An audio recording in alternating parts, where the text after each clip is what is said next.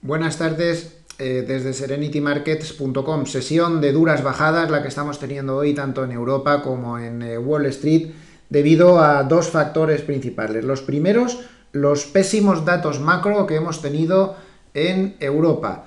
Italia en contracción en su Producto Interior Bruto en el último trimestre.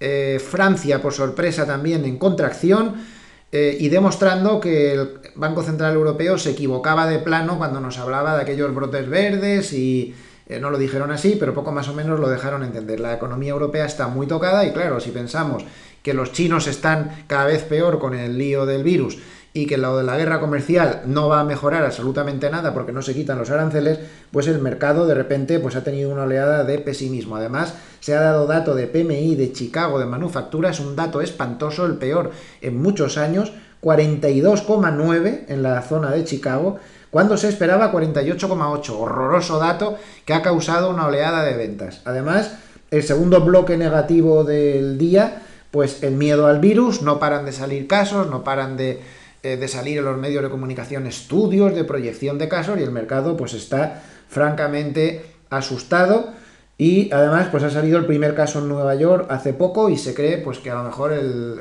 el problema para el crecimiento pues va a ser mayor de lo esperado. Por último destacar en España el desplome del Banco de Sabadell tras malos resultados del 13%, nada menos.